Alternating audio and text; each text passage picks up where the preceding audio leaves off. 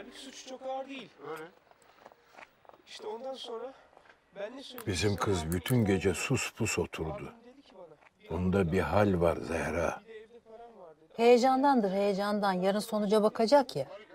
Yo yo bildim ben. Mehmet'le dalaşmış bunlar. Aman onlar kardeş dalaşır hırlaşır sonra sarılırlar. Canım boş ver. Daha bismillah demeden huzurumuzu bozdu bu mektep işi. Ee, evin oğlu ite kaka ilkokulu bitirmiş, kızı üniversite görecek. Ee, böyle olur tabii. Yani şimdi sen ne diyorsun? Oğlanın gücüne gitmesin diye kız mektebe gitmesin mi? Canım okuyacağı kadar okudu. Kazanamazsa dövünecek değiliz ha. Elbet çıkar bir kısmet. Orada dur bakalım Rıza Efendi. Gül gibi kızımı başımdan atacak değilim ben. Mektebe gidecek benim kızım. Çıkacak kısmet oradan çıksın. Tövbe tövbe. Başından atmakta laf mı? Hem kısmetin nereden çıkacağı değil. Hayrı şerri önemli. Bak bize. Kaç yaşındaydın bana vardığında? He? Hancılardan Zehra. Gül yaprağı Zehra. Küçük diye yolumuza taş koysalardı ne olacaktı ha? Bizim yolumuz dağ, taş, köy yoluydu. Kızımın yolu başka.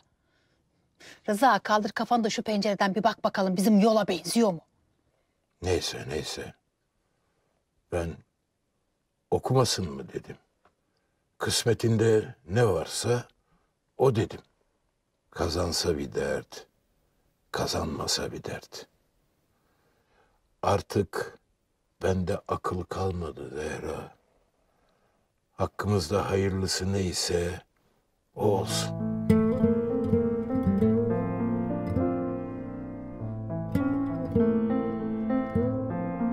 Ömer'i getir de yatıralım.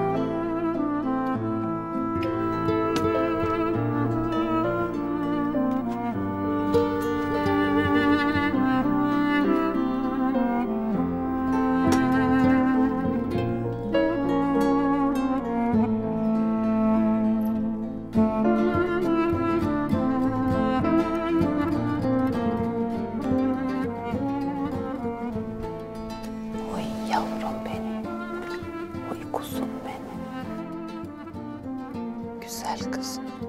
Feriha. Adını bildim de kodum annem ben seni. Anan yaşayamadı bu hayatı. Ama sen yaşayacaksın. Benim yaşayamadığım her şeyi yaşayacaksın. Adın gibi bizi de ferah çıkaracaksın. Uyu kuzum.